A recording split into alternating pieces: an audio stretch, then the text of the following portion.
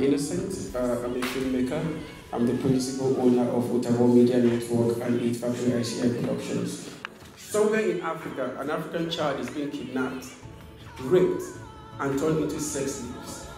The world knows about it, but they do little to stop it. At Film Distribution, we're really excited about expanding the type of stories that are told in Nigerian cinema um, really expanding past the current genres that we see and really telling the stories that really resonate with, with our audience and audiences outside of Nigeria as well. As an African woman, I shouldn't be held responsible for just the child that came out of me.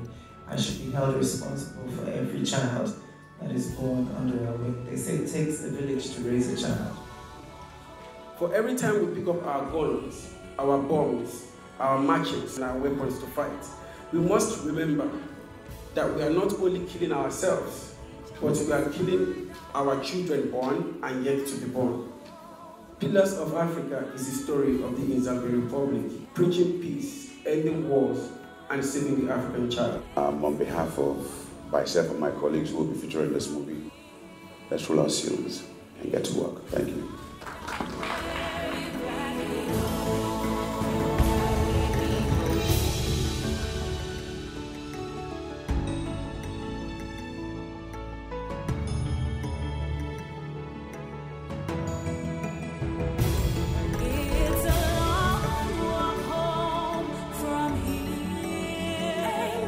edge of this